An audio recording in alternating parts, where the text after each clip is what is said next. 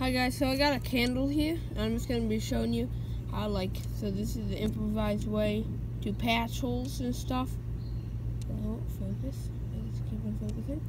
So then like to keep it patched and stuff for like a short-term solution. So I got a match right here, a couple matches.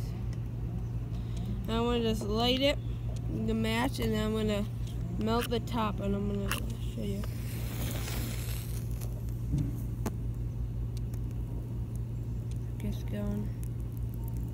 I have to use a different match. Hmm. That didn't work too well, but you can see the basic concept of melting and then doing that. So first, I'm going to try to melt it a little more with a different match. Better matches. I don't know why my camera keeps on focusing. It's like weird.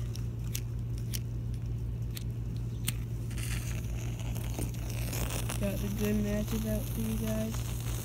For you YouTube. Yeah, those are good matches. Oh, get down. So this is going. So now we're gonna let the paper see the paper's catching on fire. The paper's catching on fire. That's what we want.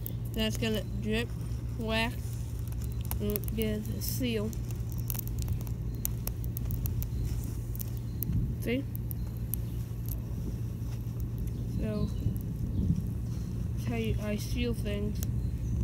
I always bring a couple candles so then if something happens I can seal it quick. And it does last for a long time. Then just let that harden. Just cool. They could also use this as an improvised candle. Light the wood on fire, then it'd be an improvised candle. So, just let that in.